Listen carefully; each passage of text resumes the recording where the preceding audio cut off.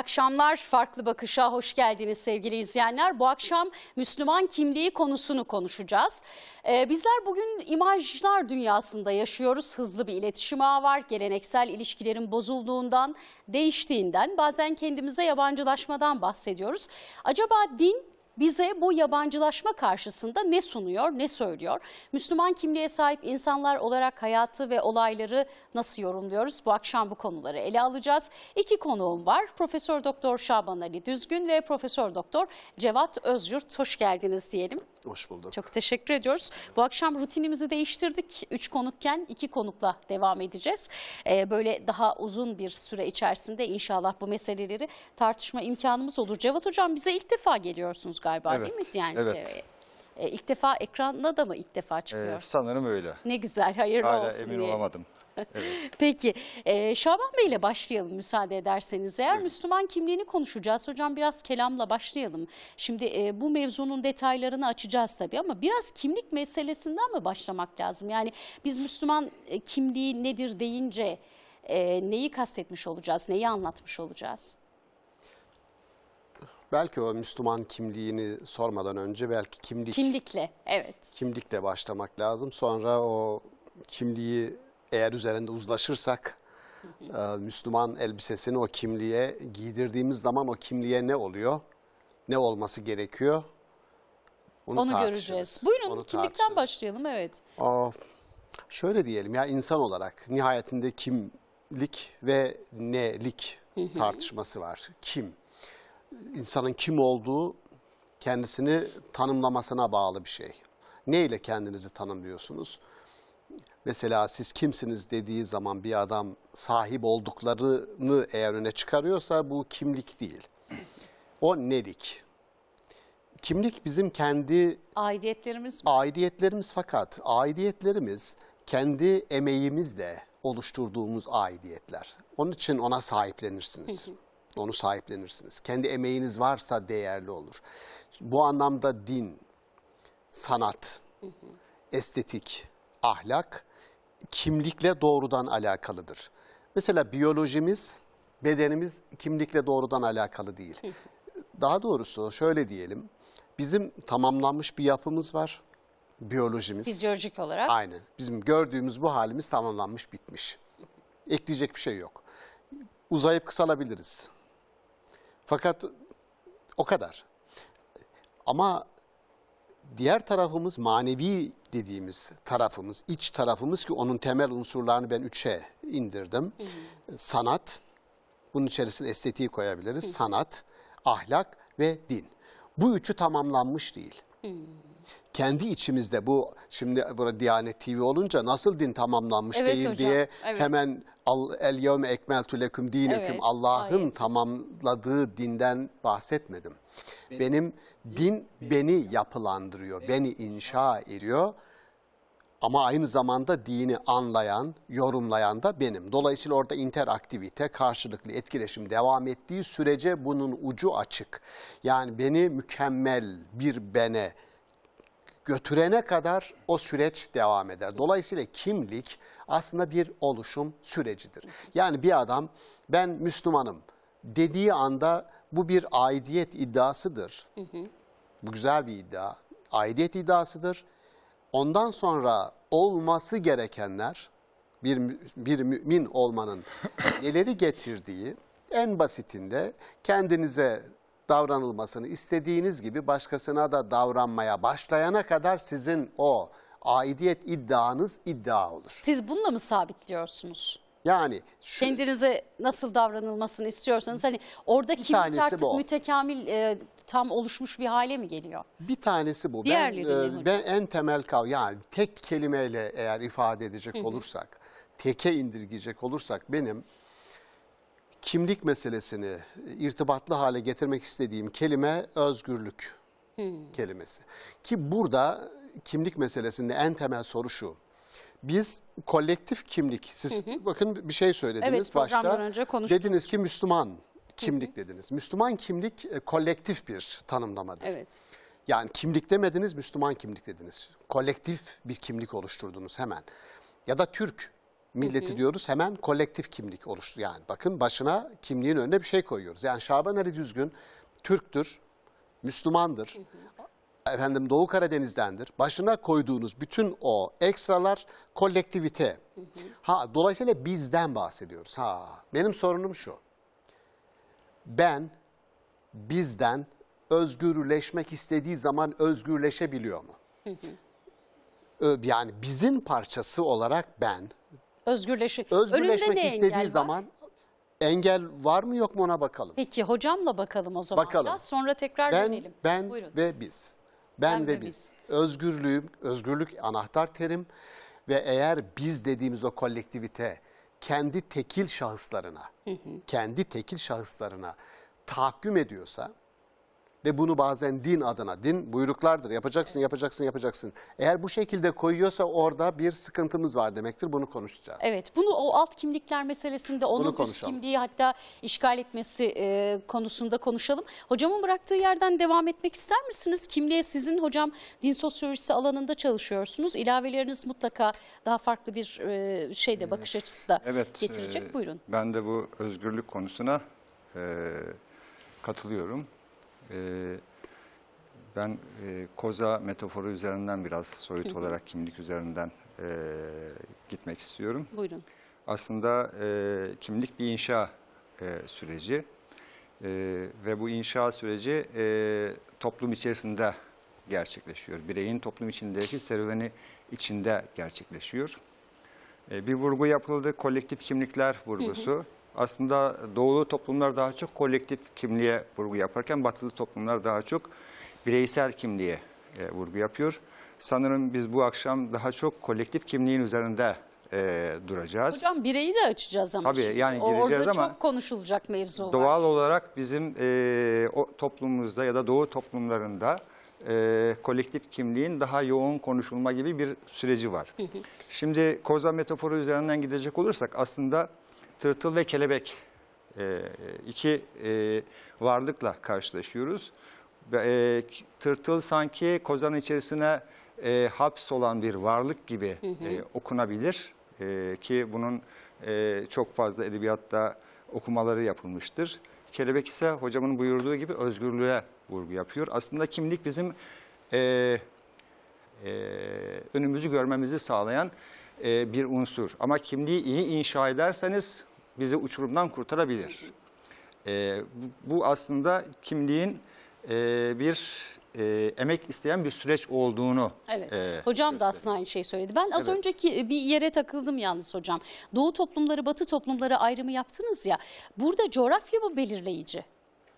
E, daha Nedir çok yani oradaki şey? daha çok o zihniyet. ilişkiler ağı evet. zihniyet belirleyici Yani diyebilirim. coğrafya derken şeyden hani e, zihinsel bir coğrafyadan da belki bahsetmemiz gerekecek ama burada e, yani Doğu toplumlarının mesela bugün hala değişen e, dünya farklı bir Türkiye, farklı bir dünyaya doğru gidiyoruz.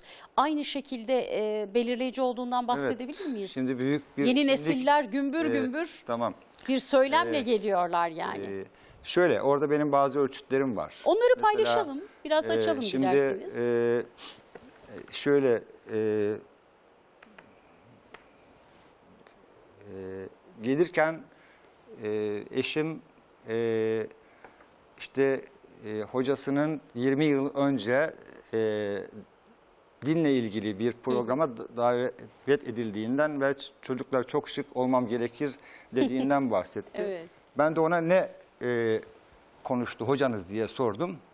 E, anne babaya saygı üzerine başladı ve anne babaya saygı üzerine bitti. E, program biçiminde bir şey söyledi bana. E, aslında biz bunu e, camilerde, programlarda uzun yıllardır e, dini anne babaya saygıya indirgemiş bir toplumuz. Ama diğer taraftan baktığımızda aslında bizim e, İslam dini içerisinde ailenin çok önemli bir yeri var. E, biz bunu yeni yeni kavramaya e, başlıyoruz. Batıdaki çözülen aileyi gördüğümüz zaman aslında kendi değerimizi daha iyi kavramaya e, başlıyoruz. Güncel bazı e, yasal tartışmaların ekseninde de aslında aile ve birey zihinlerimizin e, yansımalarını okumamızın mümkün olduğunu Evet. e, düşünüyorum.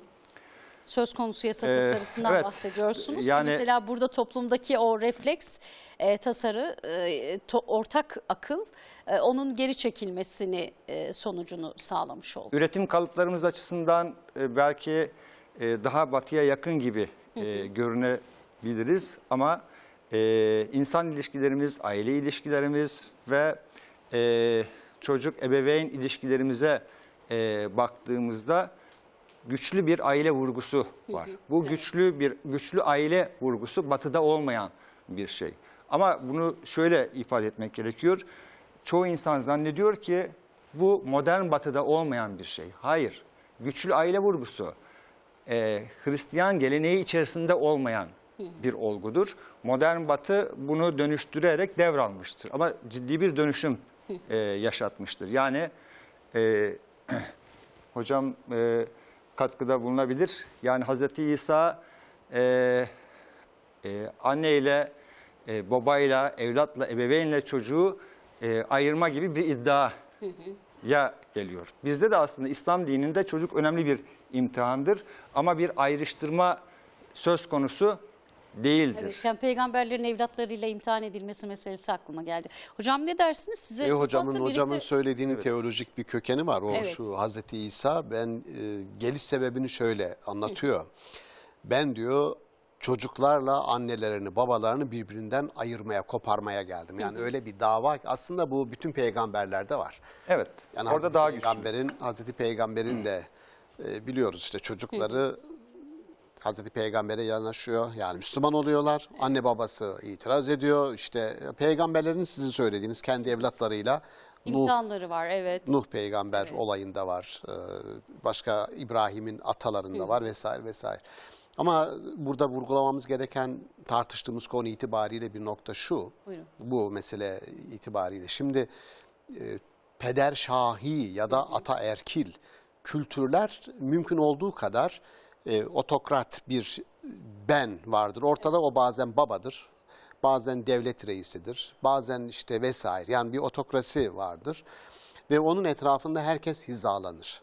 Şimdi Kur'an-ı Kerim'de babayla, anne babayla irtibatı kurarken tabii ki ve kadâ rabbuke ellâ ta'budu illa iyyahu ve bil valideyni ihsana ayet-i kerimesini unutmuyoruz. Allahu Teala kendisine ibadetten sonra anne babaya iyiliği İtaat, emrediyor. İtaati değil. İyiliği evet hocam. Çok güzel. Allah söyledi. Bakın bilinçaltında. Allah evet, söyledi. bilinçaltım Ha, çok güzel. hocam. Kur'an-ı Kerim Ama biz yıllarca bunları işte- böyle öğrendik işte hocam işte yani. yani Allah'ın edeceği canlı yayında böyle yaptırıyor. Buyurun Şimdi Allah düzeltelim. Allah e, anne babaya iyiliği emrediyor, itaati yasaklıyor. Hmm.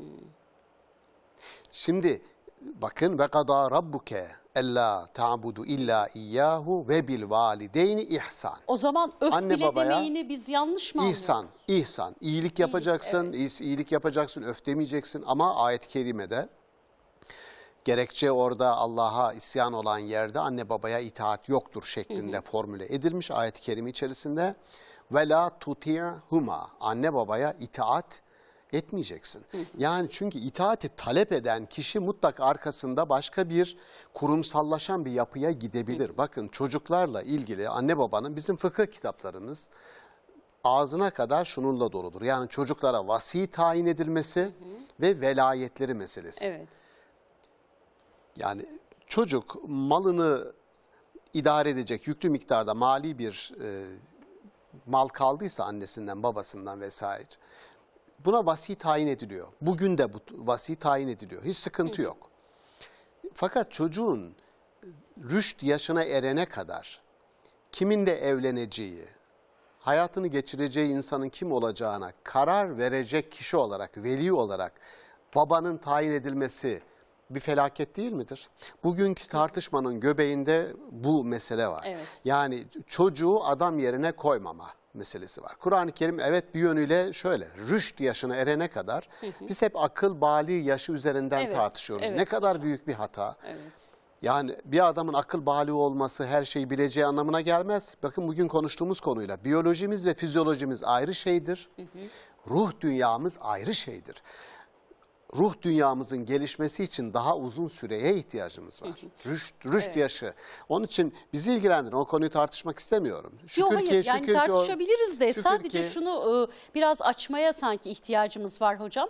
Anne babaya itaati emretmiyor dedik ya oradaki itaat kavramı bizim kültürümüzde çok yerleşmiş. Yani ben de onu insiyaki olarak söyledim çünkü e, biz orada biraz da yetiştirilme adabı bir terbiye sürecinden de bahsetmiş oluyoruz. Sizin tam kastettiğiniz şey bu değil değil mi? Yani böyle bir Yani şöyle- anarşik aile yapısını e, kastetmiyoruz. Yani şimdi kastettiğimiz şu gerçekten bizim toplumumuzda kabul etmek lazım ki törelerin bakın kabul etmemiz gereken Evet. bir şey var. Hocam ifade etti ya burası Günlerdir Doğu- bunu tartışıyoruz Doğu aslında yani. Bu sadece bu, bir meselede değil. bir şeyi de var. Sadece burada. bu meselede değil.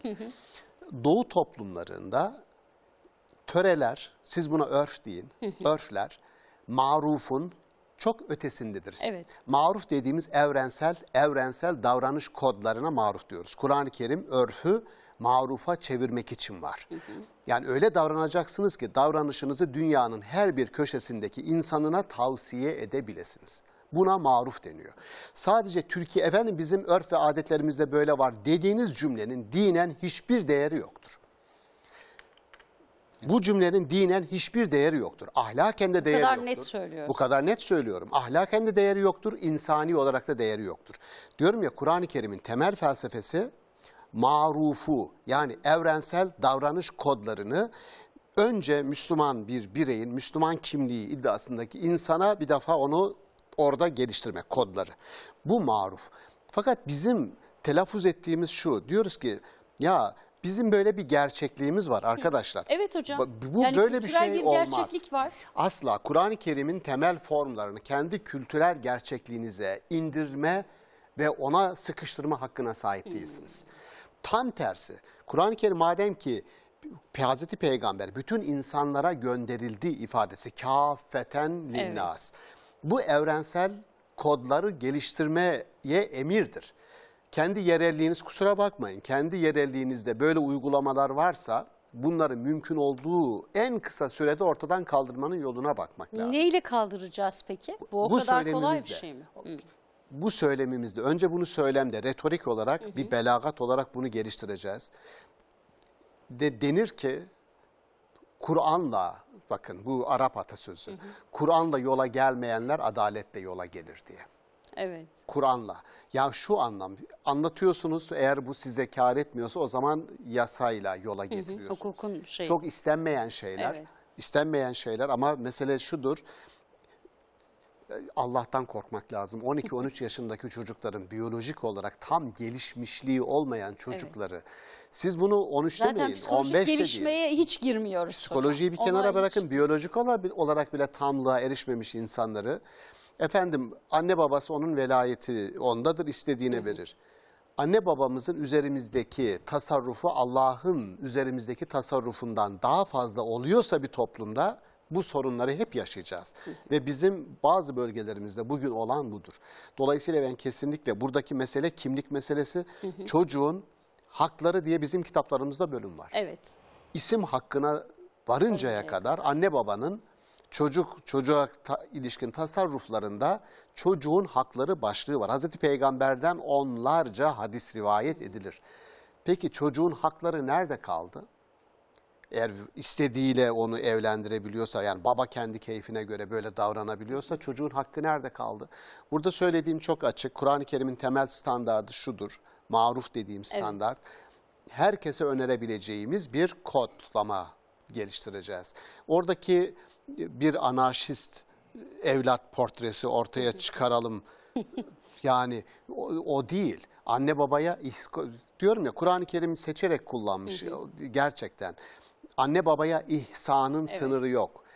İhsanda bulunacaksınız ama itaatten bahsetmiyor. Hocam İtaat- burada o itaatten bahsetmiyor. Bunu, de yani bunu toplumda unutmamak gerekiyor. e, insanı belirliyor aslında yetiştiğiniz aile ortamı, kültür. Şimdi e, ailenin size ne sunduğu da o güne kadarki o yetişme ortamınız da çok önemli. Yani. Onu aşmamız Bura- lazım. e, Burada tabii bireysel çabalar sanki lazım. devreye giriyor. Hocam ne ilave edersiniz? Bu- Bunu biraz e, konuşalım. Evet. Sonra o zaman sizin bu söylediklerinizden ideal Müslüman tipi diye bir şey var mı? Bunu biraz konuşalım. Yani Belki bir şey o- oluyor mesela diyor ki böyle Müslümanlık olur mu diyor. Yani değer yargılarıyla davranış arasındaki farklar ve o makasın açılmış olması toplumda böyle sorgulamaları meydana getiriyor. Son bir Madem şey kimlik- eklemek isterim hocama. buyurun. e, Ondan sonra hocam Ama bunu sonra konuşalım. isterim. Hocam Şu söyleyeceğim şey. sonra.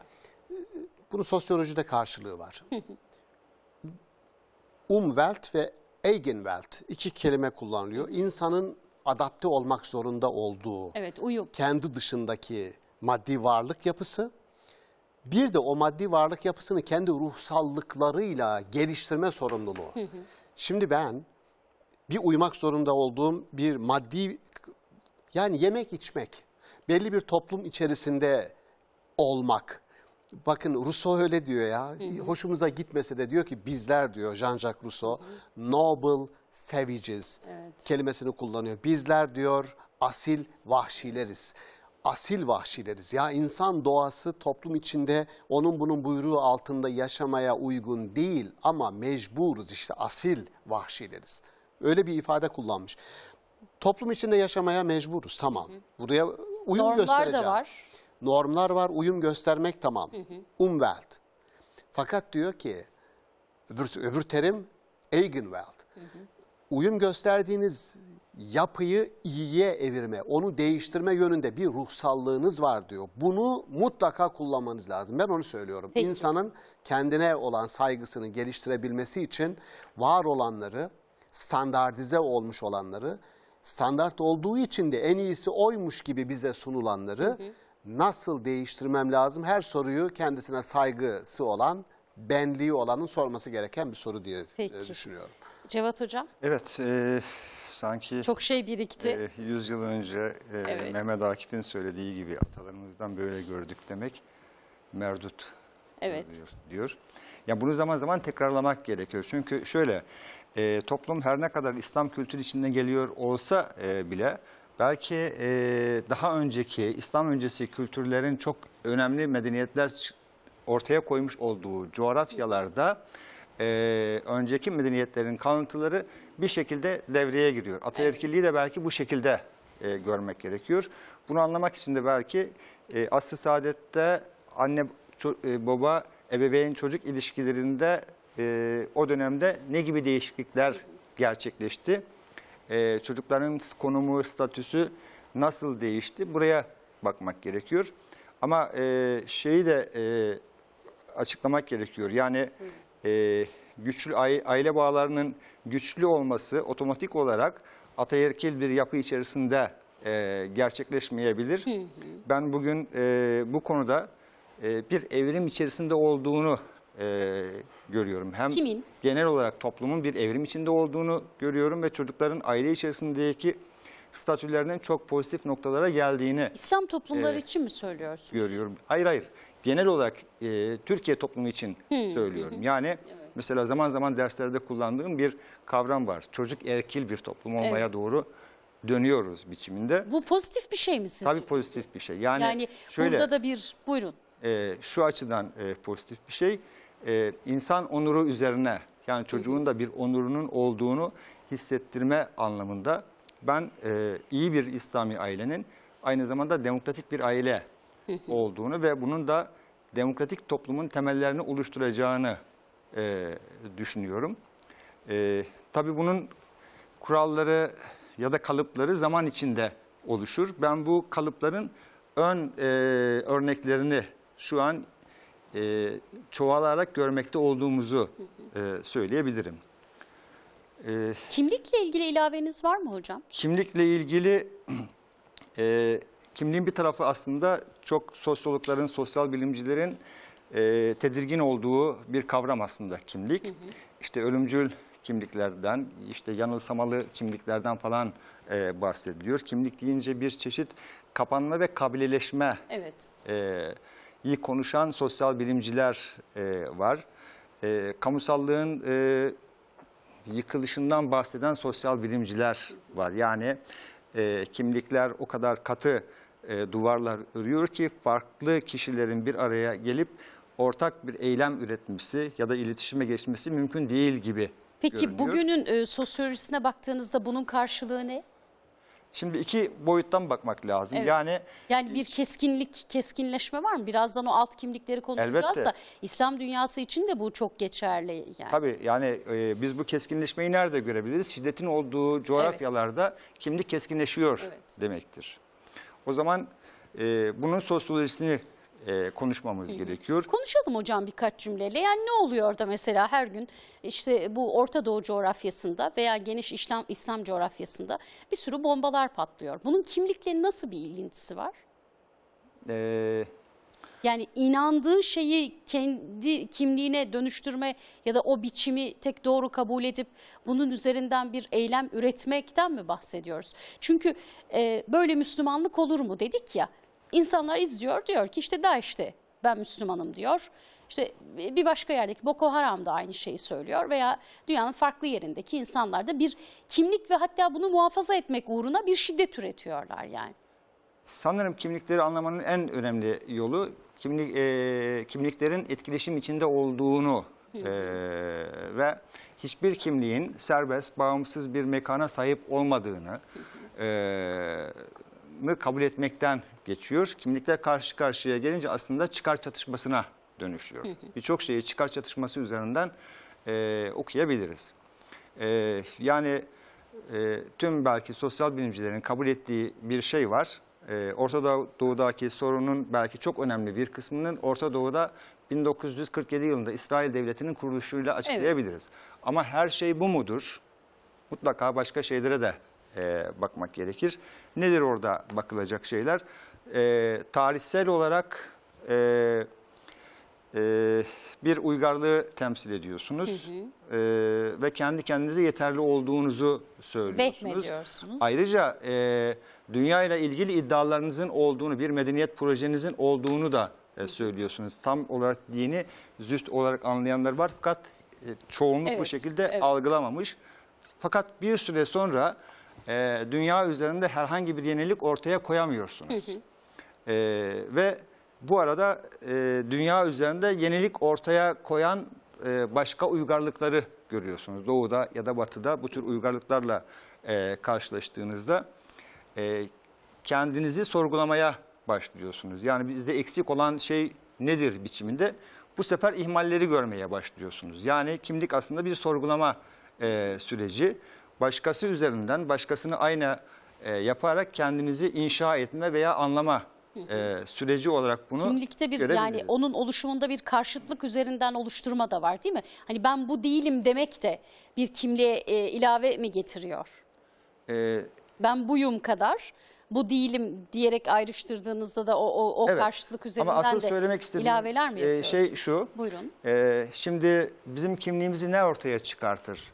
Yarın mesela bugün ben kimliğimle ilgili bir e, birkaç e, özellik yazabilirim.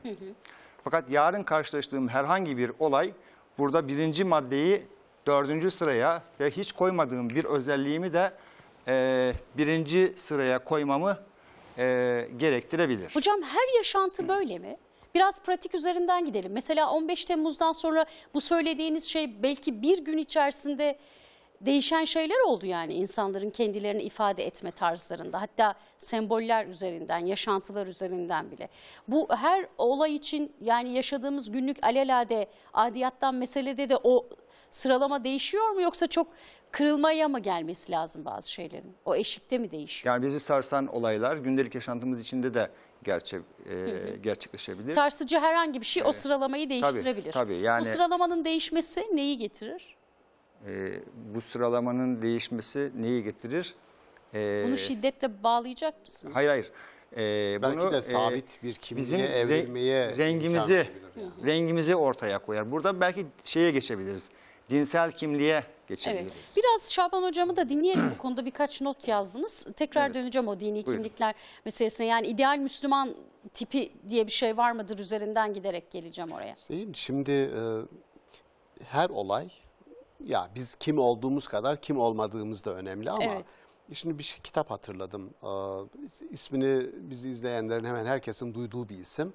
Bildikleri ya adamı bir kitabıyla biliyoruz biz. Medeniyetler Çatışması teziyle Evet, biliyoruz. Huntington'dan bahsediyorum. Huntington'dan bahsediyorum. Fakat onun ölmeden önce yazdığı bir kitap daha var. Who are we? Biz kimiz? kimiz, evet. Biz kimiz? Ve orada Amerika'yı kuran temel unsurları e, yazıyor. Söyleyeceğim onları. Yani Amerikan kimliği diye bir kimlik var Evet. idi diyor. Fakat bu kimlik Meksikalıların gelişiyle, Hispaniklerin gelişiyle deformasyona uğradı. Biz kimliğimizi kaybediyoruz. Amerika Amerika olmaktan çıkıyor. Neydi bu kimliği oluşturan unsurlar ona göre? İşte kısaca bütün e, Amerikalıların ezberlediği bir şey. WASP. İngilizce ifadesiyle white Evet. olacak. Anglo-Sakson olacak ve Protestan olacak. WASP kimliği. Şimdi, şimdi beyaz olacak. Evet. Aha, şimdi bir Müslüman için böyle bir kimlik tanıması, tanımlaması mesela imkansız. Onun için Hegel'i hep anarım. Hegel diyor ki Mü- Müslümanlık hiçbir şey getirmemiş olsa dahi sadece ırkçılığa karşı çıkması sebebiyle diyor yapacağını yapmıştır diyor. Evet. Başarı ona yeter diyor. Bakın şimdi Amerikalıyı tanımlıyor adam Amerikan kimliğini. Birincisi white, beyaz olacak. Beyaz olacak, İki, Anglo-Sakson olacak ırkçılık bu. Diğeri de protestan olacak dinsel monopoli, dinsel tekelcilik. E, e şimdi böyle kimlik, bakın bu tekelcilik yani her alt kimlik bir anlamda kendisini lokalleştirir ve yalıtır. Biz ey insan, Hucurat suresinde geçen işte, biz insanları o niye yarattık? Sizi bir erkekten bir dişiden yarattık. Ve hepinizde ve litaarafu marufu marufu ortak iyiyi üretesiniz diye sizi farklı yaptık. Şimdi bakın insanlar arasındaki farklılık ya çatışmanın temelidir ya işbirliğinin temelidir. Evet. E şimdi burada hepimiz birbirimizden farklıyız. Yani kameranın başındaki arkadaşım benden farklı, yetenekleri benden farklı. Moderatör olarak sizin yetenekleriniz benden farklı, hocamınki farklı. Bu neyi getiriyor? Burada birbirimizi tamamlamayı getiriyor. Evet. Çatışmayı değil. Kur'an-ı Kerim'in temel felsefesi şu. Bu, bu şaka değil. Ters gelebilir bize. Yani bir adamın Müslüman olması, diğerinin Hristiyan olması bir çatışmanın temeli midir? İşbirliğinin temeli midir? Kur'an-ı Kerim şöyle diyor. Biz dileseydik sizin hepinizi tek bir ümmet yapardık. Hepinizi tek dine ya da tek bir ırka sabitleyebilirdik ilahi iradenin istemediği bir şey var ortada. O zaman farklılıkları, şurada farklı görüşlere sahip olmayı, bakınız e, özellikle dini camiada biz doğrunun, hakikatin tek olduğunu Evet. Ve özellikle doğru, hakikatin de bizim yanımızda olduğunu, dolayısıyla herkesin ona göre kendisini hizaya getirmesi gerektiğini söyleriz. E peki, bu kadar mezhep, bu kadar meşrep, bu kadar farklı alt kimlikler. Herkes kendi doğrusuna çağırdığı zaman ortaya çıkacak fotoğrafın ne olacağını görebiliyoruz. Evet görebiliyoruz. Görebiliyoruz, Bir kısmını gördük da de. gördük. Evet Gördük 15 de. Temmuz'da gördük. Bir kısmını da gördük. O zaman biz çoğunluk değil, çoğulculuk felsefesini bir defa altını çizmemiz lazım. Çoğulculuk hem de din içi çoğulculuk. Evet. Din içi. Yani dinin içinde de farklı doğruların, farklı kabullerin olmasına imkan vermek lazım. Yani bir Herkes alt kimlik üst kimliği işgal etmesin diyorsunuz. tahakküm etmesin. Çoğunluk evet. yani bir bir kitap yazarımız var. Kitabının başına bir Arapça yazmış. Diyor ki bu kitap herkese yazılmış değildir diyor. Herkese değil. Bu kitap diyor hakikate, hakikatin peşinde olsa olan bir kişi bile olsa ona yazılmıştır diyor. Yani çoğunluğa değil. Hakikatin peşinde olan bir kişi bile. Bir örnek veririz hepimizin işte Galile Evet. Hayatının sonuna kadar ev hapsine adamı koymuşlar. Dünya dönüyor diye ve ev hapsindeyken ölmüş bu adam. Bir kişi bir şey söylüyor ama bir kişi söylüyor çoğunluğun kabulüne aykırı ama doğru. Hakikatin böyle bir hakikat bulaşıcıdır bu anlamda. Şimdi bakın hakikatin kimliğini belki önce sorgulamak lazım. Yani kimlik insan kimliğinin maalesef insanın böyle bir zaafı var. İnsan Kur'an-ı Kerim söylüyor insan zafiyetleri olan varlık, zayıf yaratılmış zayıf zafiyetlerimizden bir tanesi her yerde kendimizi merkeze koyuyoruz. Oysa şu yaşamda hayatı beraber inşa etmede en anahtar kelime şu. Farklı doğrular olabilir değil. Var. Bizim ulema uzunca yazar metni ve arkasına satır en sona şunu yazar. Vallahu alemi bis savab. En doğrusunu Allah bilir. Bu şu demek benim elimden geldiği kadar ürettiğim bu. Ama bu son doğru değil. Allah Kapıyı bilir demek başka bitiriyoruz, doğrularda, evet. başka Hocam doğrularda olabilir. izleyicilerimizin size soruları var. Bir izleyicimiz demiş ki peki biz e, bilgisizliğimizle nasıl özgürleşeceğiz diyor. Bu bilgi özgürleştirir. Bilgi güçtür. Yani bilgisiz, şunu kabul etmek lazım. İnsanı birbirinden ayıran akılları değil bilgileridir. Doğuştan hepimiz akıllıyız. Aklımız var, eşitiz. Ama bilgi kelamcılar... Bir donanım olarak. Ke- kesinlikle öyle der Kur'an-ı Kerim. Burada hiç bize alternatif yok. Bu örnekleri size hep veririz diyor ayet-i kerime. Ve ma yaqiluha illel alemun. Ancak bilgi sahibi olanlar aklını doğru dürüst kullanabilir.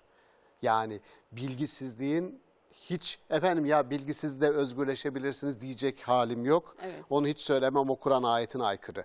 Bilgi bizi özgürleştirecek olan bilgidir. Aksi takdirde işte Türkiye'nin Türkiye'nin e, özellikle de dini grupların yaşadığı bir handikaptır bu. Nedir hocam? kendilerini kendilerini kotaracak bir e, hidayeti yani bilgi e, havuzunu oluşturamazlarsa zorunlu olarak başkasının havuzundan gidip su içmeye kalkıyorlar. Hocam peki sağlam bilgi üreten mekanizmalara sahipler mi? Bu sadece bir yeterlilik sorunu mu yoksa orada yöntemsel bazı problemler de Bazı var mı yani? yöntemsel problemler var ama Evet. şu, bizim şansımız şu, şu. Belki bu bunu biz insanlara ulaştırmakta zorluk çektik, ulaştıramadık. Evet. Sık altını çiziyoruz. Yani Türkiye son dönemde altını çiziyor ama Türkiye altını çizmeye başlamadan biz çok daha önce çizmeye başlamıştık. Biz derken Biz derken akademi, evet. ilahiyat camiası nedir? Ben kendi kitabımı da yazdım, kendi üzerime düşeni yaptım. Yani Diyanet İşleri Başkanlığı'ndan e, çıkan Tafsiratül Edille fi Usulüddin Ebul Muin en-Nesefi yani Maturidi düşüncenin önemli bir ismidir Nesefi. Onun kitabını tahkik ederek Hüseyin Atay Hoca ile 1200 sayfalık bir eser yayınladık Arapça. İkincisi Nesefi üzerine doktora tezi yaptım. Yetmedi. Maturidilikle ilgili Kültür Bakanlığı'na 500 sayfalık bir kitap edite ettim, edisyon yaptım. 10-18 bölümlük farklı hocalarımızın katkısıyla.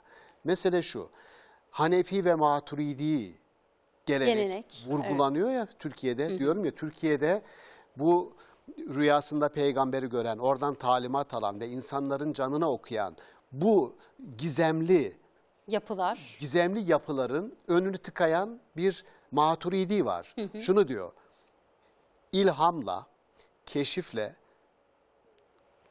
dinin hiçbir alakası yok. Evet.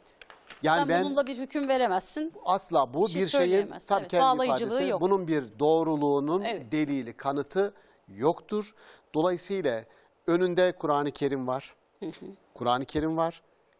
Kur'an-ı Kerim'in kaynağı yani ilahi irade Allahu Teala aynı zamanda sana kendini idare edecek yeryüzünde Allah'ın terazisi olarak sayılan akıl yetisini sana vermiş, vicdan vermiş, insaf vermiş. Bütün bunlarla hayatı organize edebilirsin. Vahiy elin- var. Evet, buyurun. Bunlar bunlar dururken, bunlar dururken başkasının havuzunu elinde kovayla gidip ben buradan alayım diyen insanların Allah katında sorula- sorgulanacaklar. Tabii herkes kendi hacmince su- Evet sual hocam bu, bu çok önemli bir şey. Bunu biraz e, dan açalım hocamın bir cümlesi varsa. Hocam, Çünkü hocam buyurun. aslında izleyicilerimiz Biz, hep bunu e, demek istiyor. Yani biz bunu neyle yapacağız, nasıl yapacağız? Daha doğrusu bu işe nereden başlayacağız? Kitaplara yani? baktığımızda aslında e, sezgisel bilgiyle amel edilmeyeceğine dair en azından e, ikinci bir kişinin, sezgisel bilgi alan kişinin dışındaki kişilerin amelinin doğru olmayacağına dair ifadeleri hep e, İslam tarihinde metinlerde buluruz. Fakat bunun biz kamusal tartışmasını, kamuya açık bir tartışmasını yapmış değiliz. Alimler arasında dolaşan bir bilgidir bu. Bu bilgiyi biz, bizim kamusallaştırmaya ihtiyacımız var. Biraz Toplumun önce bilinçaltı kodlarıyla çok fazla oynamama e, adına yapmadık Evet. yani bunu yıllarca. Şimdi biraz önce Yine- yine- geleneksel e, Buyurun, buyurun bilgi hocam. e, Mehmet Akif'in de belirttiği gibi bunun altını çizdik. Ama bunu şey söyledik. Bunun tekrar zaman zaman güçlü bir şekilde altının çizilmesi gerekiyor. Yani şu hocamın söylediği ulam bizim aramızda dolaşan kitaplarda da bol miktarda olan bilgiler efendim toplumda böyle yürüdüğü için toplumu rahatsız etmeyecek ya bir şey söylemeye çalışıyoruz. İşte çocuk meselesinde de öyle Evet. oldu. Toplumu rahatsız etmeyecek dediğin şeyler Ali Şeriat'ı öyle Ali dedi. Şeriat'ı diyor ya, sizi rahatsız etmeye diyor. geldim. Evet. Sokrates, Sokrates'i biliyorsunuz baldıran zehiri içirerek öldürdüler adamı. Sebep ne? Sokrates'in idam edilmesinin, öldürülmesinin sebebi Atinalı çocukları ahlaksızlığa itiyor. Ahlaksızlık dedikleri şu, Sokrates diyor ki çok ilah yok, ilah bir. Tek ilah var.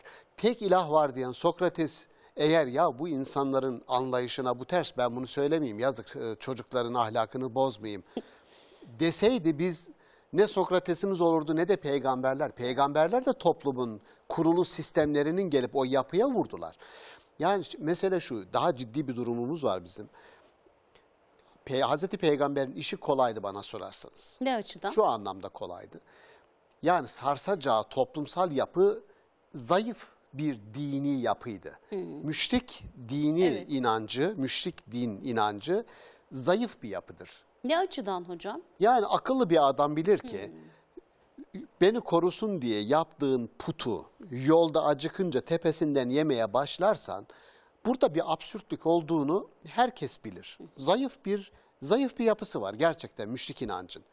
Fakat İslam gibi çok güçlü bir dinin hayata bizi bağlayan ilkelerini kurumsallaştırarak insanlara tahakküm eden bir kurum haline getirirsek ondan kurtulmak çok daha zor. Hocam buna mutlaka örnek vermeniz Bunu lazım. bunu açmamız tabii ki Evet. açacağım. Şimdi Burası çok çünkü işte şu kritik. örnek çok açık. Buyurun. Anne babaya itaat etmeyin diyen bir dinin ya anne babaya itaat etmek dinimizin emridir diye satarsak aynısını yaparız. Bakın o kadar net ki anne babaya ihsanda bulunun. Kendinizden verin verebildiğiniz kadar hiç sıkıntı yok. İtaat etmek kendinizden vermek değil ki. İtaat etmek kendinden feda etmek demek. Bir bakın kendinden feda etmek. Ya bir insanı niye kendinden feda et? Bizim Allah'a ibadetimiz bile bizim fedamız değildir. Tam tersi Allah'a ibadet bana kazandırır. Siz insanı araç haline getirmeyin. İnsan feda edilecek bir varlık değil. Bu fels Kur'an-ı Kerim'in Kur'an-ı Kerim'in tek kelimeyle ifade ederseniz merhamet bizi merhametli Evet. bir varlık haline getirmeye çalışır. İhsanda bu vardır. İkincisi hiç tartışmam özgür bir varlık haline getirir. Şunu nasıl başka türlü açıklarsınız ya? Sadece sana ibadet ederiz. Evet. Fatiha'daki sadece Allah. yağmuru. Sadece Allah. Allah'ın dışında hiçbir insana boyun eğmem. Sadece boyun eğme de değil yalnız orada. Uzun, İkinci uzun. kısım da çok önemli hocam. Söyleyin onu O da siz istina lütfen. yani değil mi? Orada bir talepte bulunduğumuzda da nereden talep ediyoruz? Aynen. Yani, Allah'tan evet. sadece Allah. Bu şu. Özgürleştirme bağlamında bunu Özgürleştirme söylüyorum. evet. bağlamında. Bağlılık çünkü bağlılık eğer bağımlılığa dönüşürse köleleştirir. Ve biz yaşadığımız toplumun bize söylenenler ya bir deliye bir insana 40 defa deli deseniz kendini deli sanar. Şimdi siz binler ya yüzlerce yıldır yüzlerce yıldır kültürel olarak dinin içindeki insanları Spinoza bunu kendi kültürüne söylüyor. Spinoza Yahudiliği eleştiriyor. 24 yaşında herem ediyorlar adamı. Ya aforoz ediyorlar yani. Yahudi din adamları Hollanda'da. Sabah akşam Spinoza'yı her geçtiğinde Allah ve melekler ona lanet etsin diye yazıyorlar. Sebep ne? Spinoza diyor ki ya diyor siz Allah'ın özgür yarattığı insanları köleleştirecek kurumlar yaratan insanlarsınız ey rahipler diyor. Ey din adamları, hahamlar. Anlatabiliyor muyum? Benim benim endişem dinin içindeki insanlar ya dindar oldum diyen insanların sanki insanlıklarından bir kısmını arkada bırakmaları gerekiyormuş gibi. Kim veriyor bu intiba? Bu intiba din dinin içerisindeki insan şöyle diyelim kültür. Kültür başka birisi değil. En basit. Yani biraz alt kimlikler üzerinden mi gideceğiz? Ya şöyle diyelim, Somut örnek örnek üzerinden. verelim. Evet hocam. Örnek Sonra şu. çok e, kısa bir ara Çok vereceğim. basit bir örnek. Buyurun. Bunu, bunu bu örneği vermek, bu tartışma entelektüalitesi olan bir tartışmada bu örneği vermek bile abes. Ama Buyurun. vereceğiz. Belki bugün yoktur ama eskiden İmam Hatip öğrencilerinin kısa kol gömlek giymeleri bile abes Evet. sayılırdı. Kısa kol gömlek giymek Erkek öğrenciler için diyoruz. Erkek öğrenciler Evet. için söylüyorum. Şimdi Allah aşkına bunun dinle imanla ne alakası var ya? Şimdi bu eğer siz eğer dinin içine giren insanların kıyısından köşesinden eğer budarsanız bu- buradan özgür bir insan maalesef çıkmaz. Yani dinin dedik ya dinin temel felsefesi Kur'an ne diyor Allah Peki o zaman toplum ne bekliyor? Yani kısa kollu örnek üzerinden. Ayet-i kerimeyi söyleyeyim. Diyor ki peygamberin sizinle buluşmasının sebebi ayağınızdaki bukağıları, zincirleri indirecek, omuzunuzdaki yükü kaldıracak, atacak. Ayağınızda zincirler var diyor. Onları peygamber kırıp atacak. Ya bir tür bir tür anarşizm. Anarşizm dediği şu, terörizm asla değil. Anarşizm yürümekte olan sistemi sorgulayan bir zihin. Bu narşizm değil, anarşizm. Şimdi bunu sorgulayacak insanı getirdiğiniz anda ki peygamberlerin en birincil özelliği sorgulamalarıdır. Evet. Sorgula Peki miras bize peygamberimiz diyor ki el ulema'u veresetul enbiya. Evet. Madem ki alimler peygamberlerin, Peygamberlerin varisleridir. varisidir. Peygamber, Hazreti Peygamber aleyhisselam kendinden önceki kültürleri dibine kadar sorguladı ve insanın aleyhine çalışan bütün o kurumsal yapıların canına okudu, özgürleştirdi. Doğru mu? Evet. Peki o miras neden bize gelmiyor? Neden biz itiraz İzleyicilerimiz ettik? de size aynı şeyi soruyor. Kölelere özgürlük mottosuyla Ya, yola çıkan bir din ya. bugün nasıl insanı köleleştirme aracı haline gelmiştir diyor. Ama bunu da çok genelleyemeyiz değil mi hocam? Yani e, her zaman için bu dinle ilgili bir şey değil. Nasıl yorumladığımız mevzusu var. İşte İdeolojiler, o yüzden belki ideolojiler, ideolojiler o alt idrakimize kimlik giydirilen deri gömlekleridir diyor. ya. Evet.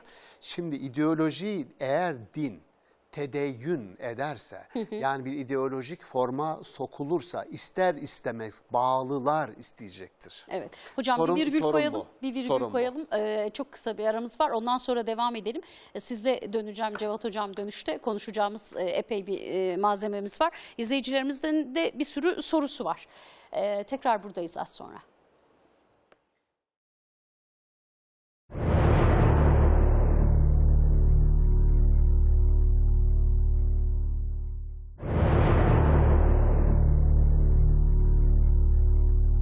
Evet efendim tekrar karşınızdayız. Müslüman kimliğini konuşuyoruz bu akşam. İki stüdyo misafirimiz var. E, Profesör Doktor Şaban Ali Düzgün ve Profesör Doktor Cevat Özyurt hocamla birlikteyiz. Hocam e, böyle Müslümanlık mı olur? Ben buradan devam etmek istiyorum dediniz. İnsanlar ne demek istiyorlar dedik. Aslında biraz da hocam e, açtı. Ben o kısa kollu gömlek meselesinden gidelim istiyorum. Çünkü o bir kalıp yani bir tipoloji var demek ki. Görmek istediği bir şey var. İnsanların o görmek istediği şey de nedir? Yani Ben, ideal e, Müslüman gibi bir şey zihinde oluşturuluyor. Ona da ne giydiriliyor acaba? Çok e, kısa bir şey söyleyeceğim Buyurun. oraya. E, kesin bir ifade değil ama acaba e, İmam Hatipli e, erkek öğrencilerin kız öğrencilere karşı bir empatisinin yansıması olabilir mi diye bir soru soracağım ve orayı kapatacağım. Ke- Çünkü bilmiyorum. Evet. E, hiç yakınımda böyle ısrarla e, yaz dönemlerinde e, uzun Hocam biraz 90'lardan falan bahsediyor çalışan, değil mi e, hocam? Bizim birileri- 90'lar üniversitede öncesi, okuduğumuz e, olmadı. Evet, 90'ların başında da öyle bir şey Ee, vardı. Bir de şeyi sormak gerekiyor. Buyurun. Ee, mesela o kişi e, kısa kollu gömlek giyene hatta atletle e, askılı e, atletle Evet. dolaşan birisine e, e, ciddi eleştiriler yöneltiyor mu? Bunu da e, bilmemiz gerekiyor. Eğer böyle bir şey söz konusu değilse e, kısa kol, hiç uz- kısa kollu gömlek giymeyen kişiye ben e, saygı duymam gerektiğini e, düşünüyorum. Yani burada bir şey olarak kesinlikle anlaşılmasını istemezsin. Ufuk ufkumuzu zaman zaman bu yönde de e, zorlamamız gerektiği noktasına işaret etmek istedim. Buyurun. Evet. e, İlaveleriniz var. İlavelerim e, kimlik olgusunu giderek daha çok konuşuyoruz. E, neden çok konuşuyoruz? Hareketli olduğumuz için e, çok konuşuyoruz. Biraz önce e, Hocam çok özür dilerim. Ee, bu kimliğin alt kimlikleri var. Yani hani o bir bütün ama mesela insanlar bugün kendilerini hangi kimlikleriyle daha çok ifade ediyorlar? Dini kimlikleriyle mi? Cinsiyete dair kimlikleriyle mi? Etnik e, kimlikte bir yükseliş mi var? e, şöyle Sosyolojik e, olarak iki şey belki bunu belirleyebilir. Birincisi hangi alanda, hangi kimlik alanında sorunla karşılaşıyorsa, ciddi sorun yaşıyorsa bu ön plana çıkıyor.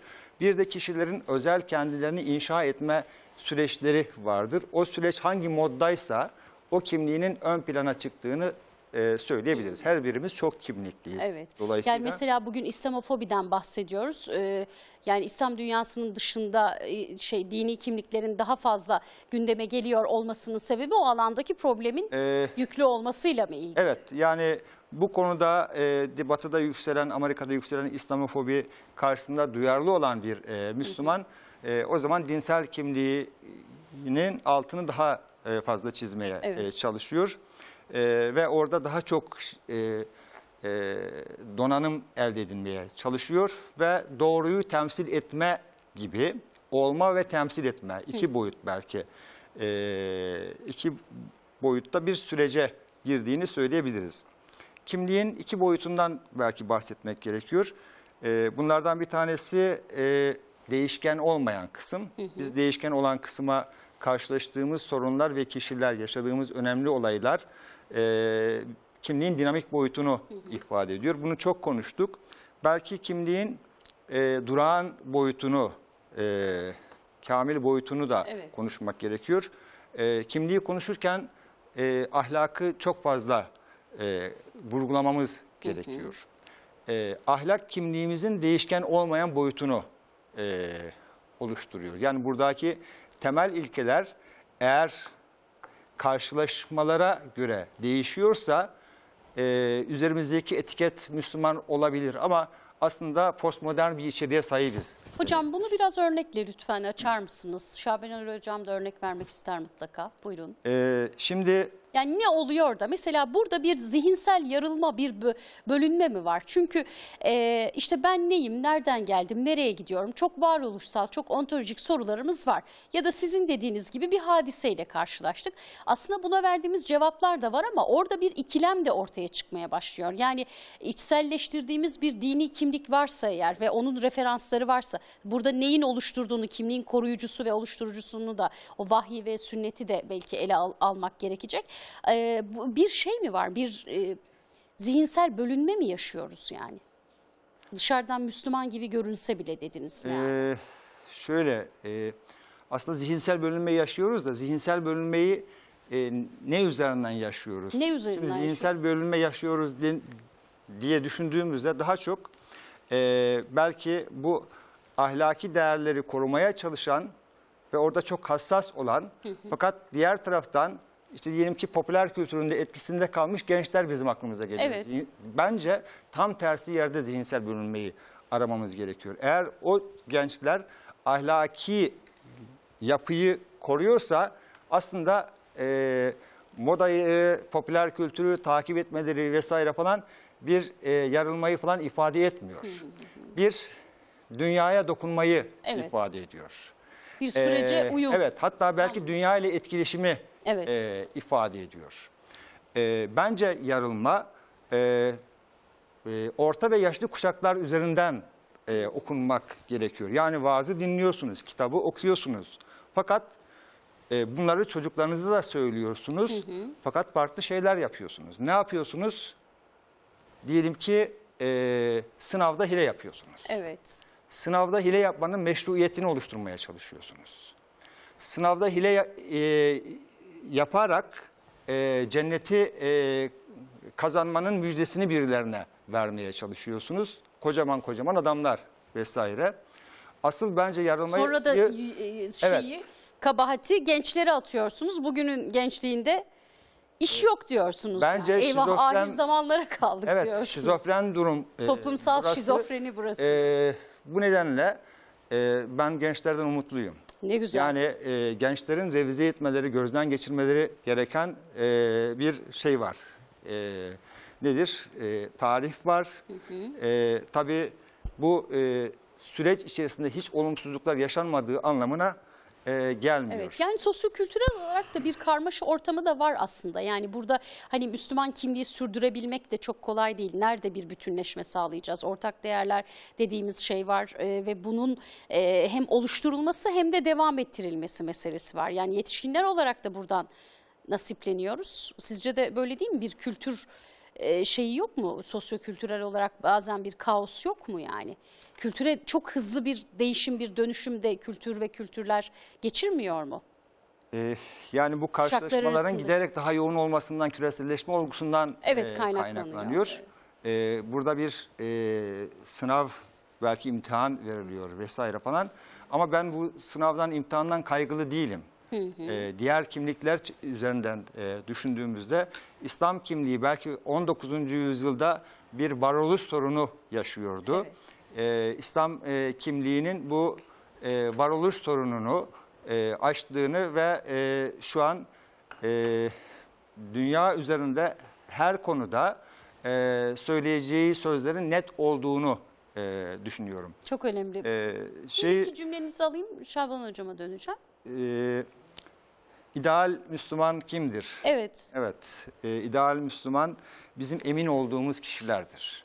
Kimse yani kimin hareketlerinden, tavırdan, yanında bulunmaktan, ticaret yapmaktan, öğrencisi olmaktan, komşusu olmaktan eminsek bunun ideal bir Müslüman olduğunu e, söyleyebiliriz. Yani ben güçlü bir şekilde Müslümanların ahlaki e, değerler altını çizmesi gerektiğini e, düşünüyorum. Aslında bu açıdan da çok zor bir şey değil. İdeal Müslüman olmak zor Evet. bir şey değil. Ama ideal kavramının kendi içinde bir çelişkisi de var. İdeal kusursuz anlamına Zaten geliyor. ben sorarken onu Evet. kastetmiştim aslında. Kusursuz yani. Müslüman olmaz. Evet. Evet. Değil mi? Yani, Yani, bu nasıl evet. Müslümanlık, bu nasıl Belki Ali Müslüman İzzet sorusu için da aslında ısrarla- biraz haksızca, Haksızca. bir soru. Evet, altını Onu, çizdiği bir şey. Evet açalım istemiştim. Hocam buyurun. Estağfurullah. Birkaç birkaç nokta Evet. var e, işaret edeceğim. Birincisi bu e, sık kullanıyoruz ya küreselleşme. Aslında Evet. küreselleşme tersine döndü şu anda biliyorsunuz. E, ve milliyetçi Evet. ve ırkçı e, söylemler artmaya başladı. E, Amerika'da yeni seçilen e, başkanın bu söylemlerin nihayetinde seçtirdiği bir zat oldu.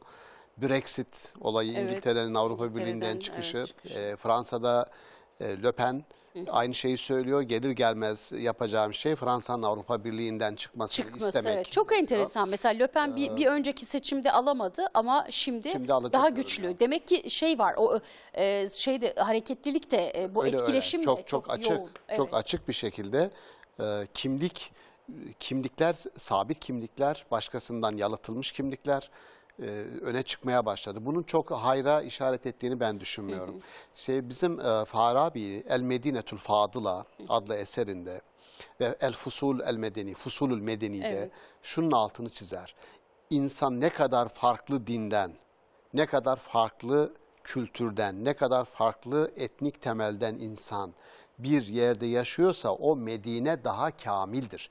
Yani sadece tek bir dinin yaşadığı bir devlet nakıstır. Sadece tek bir ırkın yaşadığı devlet nakıstır. O kendi ifadesini kullanıyor burada. Nakıs ve tam ifadesini kullanıyor. Bir tür uluslararasılaşmadan bahsediyor. Ne kadar uluslararasısınız o kadar iyisiniz.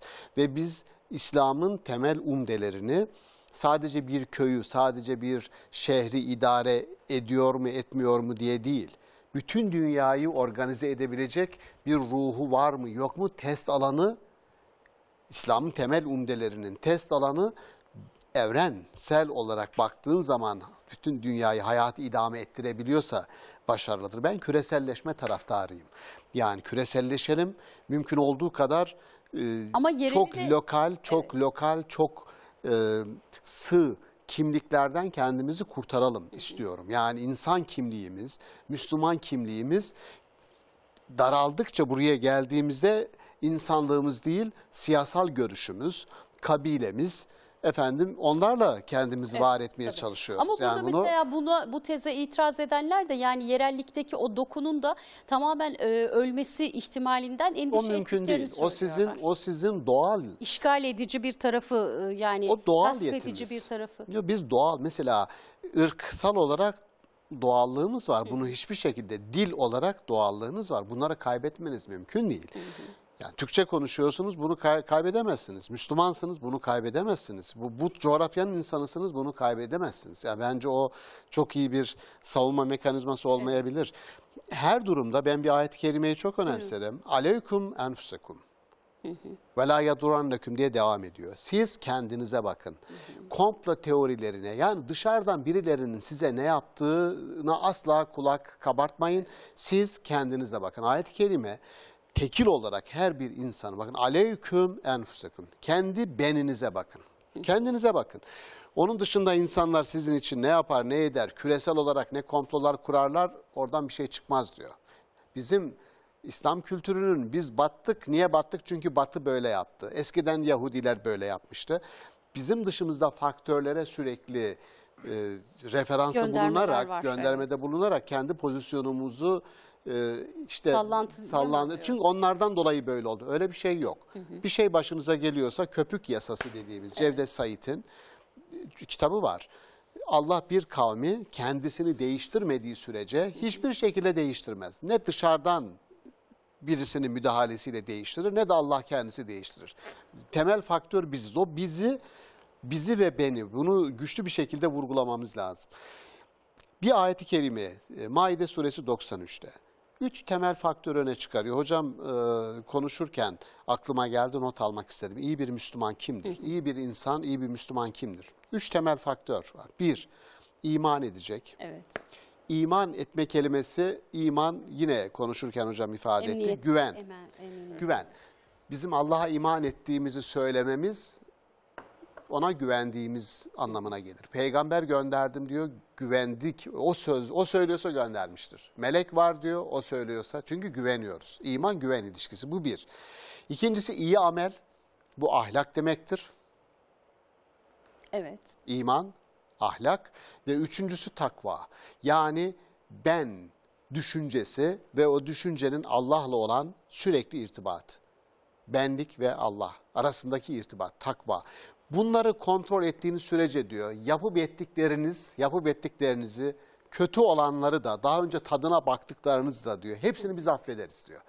Ve bunu iki defa lütfen baksınlar. Maide 93 izleyenlerimiz bu ayete baksınlar. İki defa tekrar ediyor. Aynı ayet içinde. Siz diyor iman edip iyi amel eder, takvada bulunursanız. Ay, bir daha geliyor. Ya iman eder diyor. iyi amel bulu- da bulunur ve takvalı olursanız. Ya bir defa demiştin ya Rabbi. Ama arkada bir şeyi çok ciddi bir şeyi bağışlıyoruz biz diyor. Yapıp ettikleriniz hatalar, tamah, tadına baktığınız ne varsa kötülüklerden onları bağışlıyoruz. Neyin karşılığında? Ya iman edin, iyi ameli sürekli ahlakı, sürekli gündeme alın. Meseleniz bu olsun. Diğeri de takvanız. Yani Allah bilinci, Allah şuurunuz canlı olsun. Bunu dikkate alın. Bu iyi. Biz kimiz de Hazreti Peygamber'in Kur'an-ı Kerim'i vurguladığı bir şey var. Hem Hazreti İbrahim'le ilgili kullanılır hem Hazreti Peygamber'le ilgili. Sizin için peygamberde üsvetün Hasene. hasenetün. Evet. Bir yaşam modeli var. Bir yaşam modeli var. Hazreti Peygamber'in aleyhisselamın evet, hem Ya, oluşturan hem koruyan Kesinlikle. şeyini de kimliği de bu, bu Kesinlikle bir kimlik bir kimlik Hazreti Peygamber'in nasıl bir toplumun içinden çıkıp ve kendisinden sonraki insanlar ya insanlar sahabiler Hazreti Peygamber'in yanında bu kadar eğitilmiş, güçlü, kimlerle uğraştığını göstermek için bunu söylüyorum. Ve vefatından sonra olup bitene bakın. Yani Hazreti Peygamber'in nasıl bir zor şartlar altında bir misyon yüklendiği ama biz şöyle bakmamız lazım. Ben tekil olarak madem ki kendi tekilliğimize, sahih tekilliğimize bu kadar vurgu yaptık o zaman şuna bakmak lazım. İslam'ın tarihini özellikle Peygamber Efendimiz'den sonra meydana gelen olumsuzlukları, sahabilerin birbiriyle olan kavgalarını bizim Haşr suresi 10. ayeti ışığında değerlendirip şöyle dememiz lazım. Ayet Ayet, diyor kerime bize bizden bunu istiyor. Diyor ki, deyin ki ey Rabbimiz bizi ve bizden öncekileri bağışla. Evet. Onlara karşı içimizde bir kin ve öfke bırakma. Bitti. Orada yapılanlar tarihin bir kesitinde istenmeyen olaylardı. Onun üzerinden bugüne ne Şia'yı, ne Alevileri, ne Sünniliği hiçbir şeyi getirmemek lazım. Yani tarihin öfkesini, tarihin e, davalarını bugüne taşı, taşımak bizim için çok ağır yük. Evet. Ve bizi özgürleşmek istiyoruz dedik. Peygamberimiz ne diyordu ayette peygambere? Görevi neydi? Sırtınızdaki yükü alacak, ayaklarınızdaki zinciri kıracak. Oysa bu kavgalar, gürültüler Müslüman insanın bugün sırtında yük. Haşr suresi özgürleştirmek istiyor. Bu model üsvetün hasenetünü hatırlatmak isterim. Hazreti Peygamber'in bir yaşam modeli ortaya koyduğu. Altını çizmek istediğim başka bir şey Müslüman kimliğinde ahlak teorilerinde tartışılır. Ahlak teorilerinde. İyi bir insan iyilik yapan insan mıdır? İyi bir insan kötülük yapmayan Evet. insan mıdır? Kur'an-ı Kerim iyi bir insan iyilik yapan ve kötülük yapmayan Evet, insandır. ikisi. Ye'muru bil maruf ve yenha anil münker. evet. Yani iki kanatlı. Burası çok önemli. Ben efendim benim elimden hiçbir kötülük çıkmıyor. Hep iyilik yapıyorum. Yetmez. Kötülükleri de bir şekilde kötülükleri de engelleyecek bir mekanizma bu toplumda kurulacak. Yani bana dokunmadığı sürece kötülükler oluyor. Efendim bana bana bulaşmasın. Böyle bir şey yok. Tek başına git ve o kötülüğü ortadan kaldır demiyor Kur'an-ı Kerim. Mekanizmayı buna velayet diyoruz. Mekanizmayı etkileyecek süreçlere kendini sokacaksın ve son olarak son olarak burada e, bir notumu aldım yine paylaşmak istiyorum. İzleyicilerimizin soruları var. Buyurun. Ee, biz Allahu Teala'nın bize muamelesi yaptıklarımızın neticesinde elde ettiklerimiz hasılaya göredir. Yani ismimize göre değil. Müslümanım demek beni kurtaracak olan bir iddia değildir. Bizim ulema İmam-ı Azam'ın El Alim vel Müteallim kitabına bakarsak 35 sayfalık küçük bir kitap ama not çok böyle aforizmalar var yani çok kısa kısa şöyle bir şey diyor. Bir insan vardır diyor, içinde inkar eder. Bizim yanımızda diyor adam yani Müslümanım diyorsa bizim yanımızda Müslümandır. Ama Allah katında kafirdir diyor. Şimdi bizim katımızda da tam tersi. Tam tersi olan bir kişi Allah katında farklı olabilir. Mesele şu. Bize efendim Müslümanım diyen bir adam elinden ve dilinden her türlü kötülük sudur ediyorsa, Evet. ortaya çıkıyorsa Allahu Teala biz eminiz ki biliyoruz yani. Çünkü hak ve hukuka taalluk eden şeyler kesinlikle Allah'ın af edeceği şeyler değil. Hep Evet. bunu söyleriz. Altını da bunu çiziyoruz. Kul hakkı değil. Ahlak, ahlak, ahlak diyoruz. O zaman biz yaptıklarımızla muamele göreceğiz. Her birimiz Muhammed İkbal'i analım burada. Allah rahmet eylesin. Muhammed İkbal diyor ki bir insanın Müslümanlığına üç tane şahit lazım. Bir, kendi şahitliği. Bir defa bir insanın kendisine ya ben bir iyi Müslümanım ya da ben bir iyi bir insanım diyebilmesi Diyecek, lazım. evet. Diyebilmesi lazım. İkincisi bir başka benin şahitliği diyor. Önce kendi beninin şahitliği. Sonra bir başka benin şahitliği. Evet sormak lazım. Yani başka insanlar sizin hakkınızda ne düşünüyor gerçekten? Üç hocam. Üçüncüsü de üçüncüsü de üçüncüsü de Allah'ın şahitliği. Evet. Allah da şahitlik edecek. Şimdi bu işler o kadar kolay değil. Yani ideal ben, Kur'an-ı Kerim ideale bizi yönlendiriyor ama ya şu hep söylenir. Reele hapsolmamak için ideal mutlaka insanların önüne bir rota olarak konulmalıdır. İdealin adı ne Kur'an-ı Kerim'de biliyor musunuz? Sıratı Müstakim. müstakim. Evet. Yani sırat-ı müstakim bir tünel gibi. Giriyorsunuz ve ışığa doğru yürüyorsunuz. Aynen onun gibi. İdeal benin yol aldığı rotadır sırat-ı müstakimin adı. Üç tane şahit bunu unutmamak lazım. Hocam izleyicilerimiz e, size sormuşlar özgürlüğün sınırı ne olacak diye ama önce e, e, Cevat hocama sorulan soruyla devam edelim. Bir izleyicimiz diyor ki e, bu kadar arafta yaşadığımız bir dünyada sosyolojik olarak hocam gençlerden umutluyum dedi. Nasıl umutlu olabiliyor demiş. Tabii Bunlar hep yorum. Yani Araf'ta ben mesela Araf'ta görmüyorum biçimde kısa bir cevap e, verebilirim ama e, daha somut bir e, cevap vermek e, gerekirse e, yani Biraz 15 Temmuz'dan sonra da ümitlenmeye ihtiyacımız var yani. hayır ben daha önceden de e, hep umutluydum. Evet. E, şöyle e, biz e, bir takım şeylerin gençlerin üzerinde baskılar olduğunu biliyoruz. Yani ben diyelim ki e, bundan 8-10 yıl önce ilkokul çağındaki çocuğun 4. sınıfa gelmeden Kur'an e, kamusal alanda bir hocadan, bir mahalledeki abisinden, ablasından Kur'an dersi almasının önünde baskıların sistem tarafından olduğunu unutmuş değilim. Evet.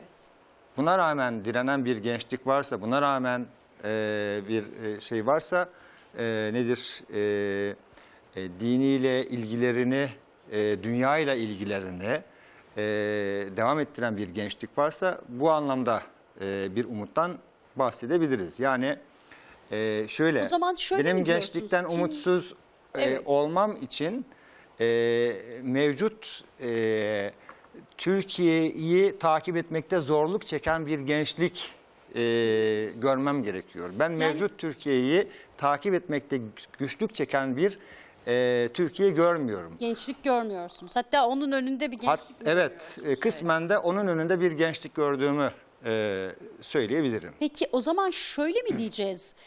Ee, kimliği korumak sadece geçmişle mümkün değil. Yani bizde böyle bir algı var. Yani kimlik geçmişe olan bağlarımızla e, korunuyor hatta pekişiyor gibi düşünüyoruz bazen. Şimdi din söz konu- konusu olunca tarihten gelen bir şey. Eğer aramızda yani diyelim Evet. ki e, yeni bir pey- son peygamber gelmiş o zaman nereye bakacaksınız? Tarihe bakacaksınız bu doğal olarak ama tarihe bakarken de oldukça e, seçici olarak e, bakacaksınız. Ve bu açıdan e, şey örneklerden gitmeniz gerekiyor. İyi örnekler üzerinden gitmeniz gerekiyor. Türkiye'de bakın milliyetçiler, muhafazakarlar, İslamcıların temel metinleri biyografi metinleridir. Evet. Ama buna baktığınızda liberallerin veya e, diyelim ki Türkiye'deki solcuların biyografi metinleri çok daha azdır. Çünkü e, onlar daha çok e, bir uygulamayı değil, aklı referans e, alarak gelecekte bir ütopya kurmayı vaat ederler. Halbuki milliyetçiler, muhafazakarlar ve daha çok da e, İslamcılar e, nedir? Onların referansları geridedir, akıl değildir. E, hem vahiydir hem de vahyin pratize etmiş olduğu sünnet ve asr-ı saadet gibi bir takım uygulamalar söz konusudur. Ayrıca önemli e, şahsiyetler e, vardır burada. Ama zaten yani vardır, o vahyin işte bir kelamcılar vardır. yok mu hocam? Efendim? Yani bu aslında bizim ihmalimizle ilgili ya da o tarafı örtmemizle ilgili bir şey değil mi? Yani vahyin akla akletmez misiniz? Bu programda da hep konuşuyoruz. Tamam çok güzel bir mesele. Evet. Sıkıştırın. Bu aslında hocaya, şöyle. hocaya bunu sorun. Evet. Ee, Ben tamam çok güzel bir fırsat bu. Şimdi Hocam biz, buyurun biz şöyle sorularınız varsa. biz e, mesela etnosentrizm diye bir şey var. Evet. Bir bölgenin kültürüyle bir yere bakarsanız e, nedir? Orada bir zaman mekan üzerinden bir faşizm uygularsınız. Aslında modernite zaman üzerinden bir faşizm uygular. Bizi buna alıştırmaya ve geçmişte modernite öncesinde çok fazla alabileceğimiz bir şey olmadığını söyler. İslam da dahil olmak üzere tüm dinler bu varsayıma katılmazlar. Dolayısıyla o modern paradigma içerisinden bakıldığında yani gerideki bırakılması gereken eee, nedir? Ondan kurtulalım Ee, bir an evet. evvel dediğimiz Yani bir geçen hafta bu geleneği onun- konuştuk. Bu onların problemidir. Evet, Şöyle ama e, tam bunu kastetmiyorum. Yani orada gelenek derken o şeyi de hani e, asıl olan o vahiy ve sünnet hani hem oluşturan hem bu koruyucu muhafaza etme bağlamında söylemiyorum. Burada e, şey örften de çok bahsettik. O yüzden geçmiş dedim ama soruma cevap vermediniz hocam. Tekrar soracağım. Vahyin içindeki akıl kısmına ne diyorsunuz? O yönlendirme ve o, o hani onu oradan ayrı düşünebilir miyiz sizce? yani e, vahyin içindeki akıl kısmı dersen e, derken Kelam, kelam sorusu soruyorsunuz. Evet. hocam. yok yok e, devam edin. Evet yani az önce o Cevabım hani var ama vahiy tam- dediniz ya evet, Evet. e, orada hani akıl e, yok mu orada bir yönlendirme yok mu yani Akla hitap ediyor. Evet. Bu anlamda e, şey var. Bir de sıkça yapılan Her bir şey aklı var. olana. Akit dediğimiz bir olay var. Yani Nasıl benim bu? Her birisiyle aklı olana her aklı olan Evet. bana hitap ediyor. Evet. Yani dolayısıyla bana hitap ediyor e, bugün. Kur'an'da e, Geleneği ne sıkça yapacağız? yeminden bahsedilir ama bu kişilerin kendi aralarındaki ilişkilerde çokça yemin etmesi de hoş karşılanmaz. Daha çok tanrısal şeylerle ilgili e, ahitler ve anlaşmalar e, üzerine bu benim bir şeyle ahit yapabilmem için anlaşma sözleşme yapabilmem için onu kavruyor olmam gerekiyor ve vahiy e, yani e, nedir? E, e, dahiye hitap etmez. Ortalama bir akla hitap eder. Bu açıdan da belki dünyadaki en e, şey bireyselci e, din, bireyin aklını esas Evet. alan din İslam'dır. Ama aileyi ih- ihmal etmemek baştaki bahsettiğimiz gibi e, kaydıyla. Tabi burada e, bir ataerkil bir aile değil benim e, kastettiğim şey aile ilişkileri, sosyal ilişkiler, sosyal sorumluluk yani bencillik anlamında bir bireycilik söz konusu değildir. Dayanışmacılık vurgusu burada sosyal dayanışma vurgusu söz konusudur. İyi toplumun oluşabilmesi için aynı zamanda aile e, şeyi de sağlıyor. Bir kontrolü de sağlıyor. Bu açıdan ben zaman zaman gençler üzerinde konuşurken aslında gençler umut verdiği oranda ya da umutsuzluk verdiği oranda aslında e, bugünkü ebeveynlerin e, sonuçta şeyidir, Evet. e, ürünleridir e, diyebiliriz. E, eskiden daha fazla kuşak çatışması vardı. Çünkü bir kuşak eğitimliydi, diğer kuşak eğitimsizdi. Şimdi tüm kuşaklar eğitimli olduğu için daha az kuşak çatışmasını e, Önemli bir şey görüyoruz. bu, evet. Ve daha bir kuşaklar arasında bir e, anlayış, Beraberlik birlikte mi? hareket etme gibi bir olguyu da ben e, gözlemliyorum. E, bu belki çatışmanın hala yaşanmış olduğu bölgelerimiz veya dünyanın değişik coğrafyalarında okullaşma oranının düşük olduğu yerlerde bu ciddi bir şekilde yaşanıyor olabilir.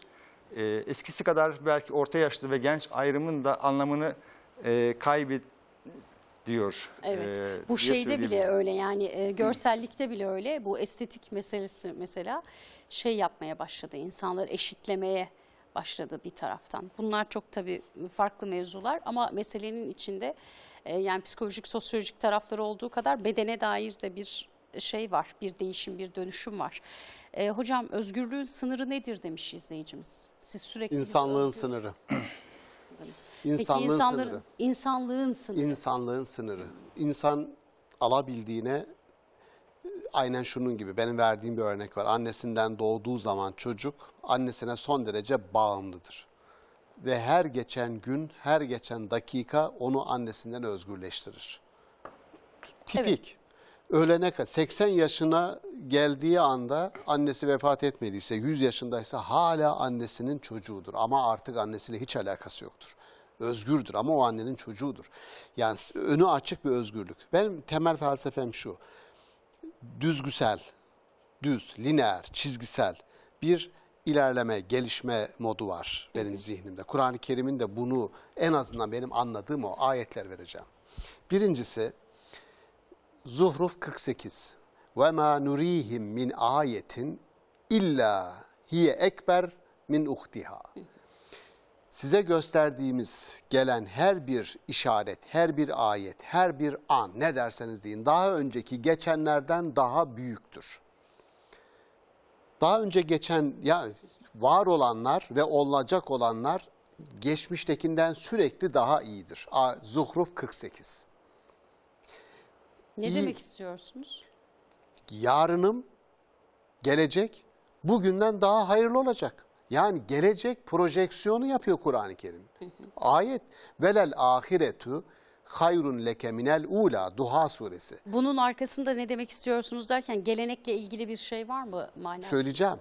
Ya Kur'an-ı Kerim sürekli gelecekle ilgilidir. Kur'an-ı Kerim'in derdi şu anda yaşayan insanın yarınını yaşanabilir bir yaşam olarak önüne koymaktır.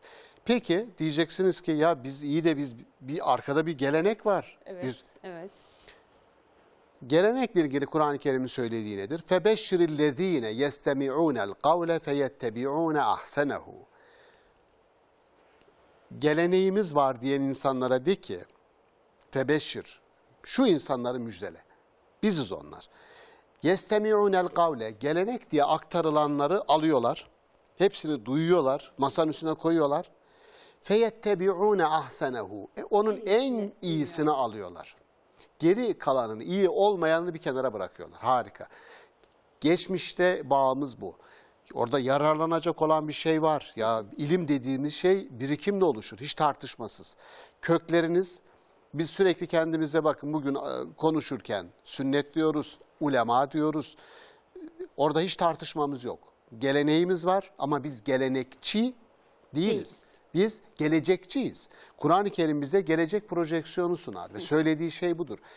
Peygamberlerin sürekli peygamberler, ardı ardına peygamberlerin gelmesi de aslında daha kutsal kitapların dilini tahlil ettiğinizde somuttan soyuta doğru bir gelişimin olduğunu görürsünüz. Ki Hazreti Peygamber'de ilk defa kullanılıyor. Din seninle kamil formuna bugün erişti. El yevme. Bugün erişti kamil formuna. Demek ki o ana kadar kamil formunda değildi din. Ki bunu görüyoruz. Hazreti Adem'e diyor biz sana, sana rüşt vermedik. Sende bir azimet, kararlılık görmedik. Hazreti Adem ilk insan, ilk peygambere söylenenlere bakınız. Hazreti Peygamber'e gelince bugün kemale erdi. Neden? Çünkü o ana kadar gelen bir süreç vardı ve ırmak coşa coşa öyle geldi. Şimdi biz Müslümanlar olarak tabii ki bir geleneğe sahibiz ve o gelenekle de gurur duyuyoruz. Evet. Ben Maturidi ismini andıkça gurur duyuyorum. Efendim İbn Sina dedikçe gurur duyuyorum. İbn Rüşd dedikçe gurur duyuyorum. Piri Reis deyince gurur duyuyorum. Anlatabiliyor muyum? Bunlar bizim geleneğimizin parçaları. Hatasıyla sevabıyla. Ama Kur'an-ı Kerim'in tekil olarak beni muhatap aldığını, sorumluluğumun bana ait olduğunu, birilerini takip edip etmediğimden asla sorguya çekilmeyeceğimi bilmem lazım. Yani sen Gazali'yi okudun ve ona uydun mu? Ya da sen şu mezhebi ta- okudun, anladın ve onun fıkhına uydun mu diye Allahu Teala'dan Keşke bana yani bir soru Gazali olsa yani. bana böyle bir Şu soru an gelmeyecek. Türkiye'nin sosyolojik gerçekliği içerisinde işte hala FETÖ operasyonları devam ediyor. Geçen hafta da bu programda konuştuk. Ee, tekrar onu belki hatırlatmak lazım. İfade veren birisi diyor ki cemaatten çıkarsam yani herhangi bir orada itaatsizlik olursa ben peygamberi küstüreceğimi düşünüyordum. O yüzden kaldım. İşte bilgisizlik. Bakın bir hanımefendi miydi? Bilgi, bir bir evet. soru vardı. Biz Evet. nasıl özgürleşeceğiz diyordu. Bizi- Bilgiyle bu bilgisizlikle biz nasıl nasıl evet bizi bir özgürleştirecek olan bilgidir. Peygamberlerimizi bile çaldılar yani. Bizi özgürleştirecek olan bilgidir. Şimdi Yusuf Aleyhisselam e, geliyor şeyde e, Silivri'de Ya hocam namaz değil mi? kıldırıyor. Yani evet. Orada da ayrı bir şey oluştu şimdi. Ama işte Orada da bakın, başka bir ya bakın, menkıbe e, şeyi var. Kültürümüz açık açık işte 15 Temmuz'un her musibetten bir ders çıkarma imkanı var ya çıkarabilirseniz. Şimdi bunları konuşmak daha rahat hale geldi. Biz eskiden beri konuşuyoruz. Yani akademi, biz derken akademiyi kastediyorum. Akademide bunlar konuşuluyor. Nedir o? Geçen işte bir Habertürk'teki programda da söyledim açık açık. Üzerine e, epey eleştiri geldi. O da şu, ölen bir insanın peygamberimiz dahi olsa bu dünyaya ilişkin tasarrufu Bitmiş. yoktur, bitmiştir. Maturidi böyle söylüyor. Evet, ölen insanların bu dünyaya ilişkin bir tasarrufu yoktur. E şimdi bunu söyledikten sonra bir insan dese ki ben peygamberi rüyada gördüm. Bu kendi ifadesidir. Peygamber onun rüyasına gelmez. Ben gideyim de şu adamın rüyasına gireyim diye özel olarak onun rüyasına gelmez. Ama o adam çok arzu ediyorsa bir rüya görür. Herkes arzu ettiği rüyayı görür ama peygamber onun rüyasına geldi demeyiz. E bunu efendim sen bunu nasıl dersin? Bu- Bunu böyle demezsen, köşeli olarak oraya oturtmazsan, koymazsan peygamberi, Pey Hazreti Peygamberi istismarın sonu yok. Tarihte de bu örnekler vardı. Bu ilk değil. İlk değil son olmayacak. Yani bu hocamın verdiği Evet hocam, e, oraya örneği, ilave yapmak ister misiniz? Peygamberler e, üzgünüm. Burada çok paradigmatik cümleleri Evet. köşeye oturtmak gerekiyor. Cevat hocam oraya ilaveniz var mı? Ee, benim bu e, dinin mükemmelleşmesi e, ve e, İslam'ın e, tarih felsefesiyle ilgili söylemek istediğim e, bir şey var. E, din mükemmelleşmişse tarih sona ermiştir.